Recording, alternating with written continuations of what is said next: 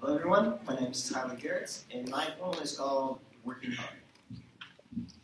I'm sweating head to toe, like it just started raining out the ordinary. My body feels weak from all these heavy weights I'm carrying. I want to stop this pain and soreness I'm going through evermore.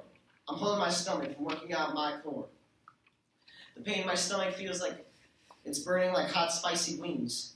But knowing that I'm getting through it shows me what I can bring.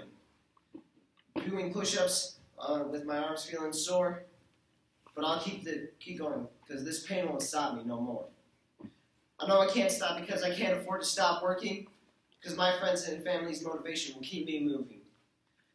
My heart is racing a million miles per hour and no air in my lungs, but it won't stop me from working hard because I will still keep up this run.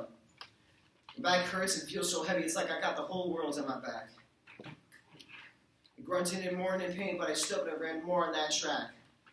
My head feels like it's pain. My head hurts like a hammer pounding against it.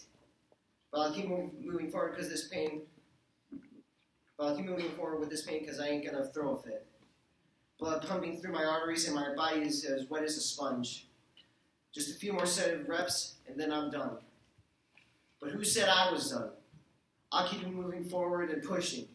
I'll keep doing these reps, sets, jogs, and runs. Keep doing these reps, sets, jogs, and runs until the end my enduring. My legs shake like a rattlesnake's tail and wish they can stop. My veins show on my forearms look like they're about to pop. I won't stop working hard because this pain won't stop me. I won't let my body tell my brain what to do because I'm working hard, like Bruce Lee.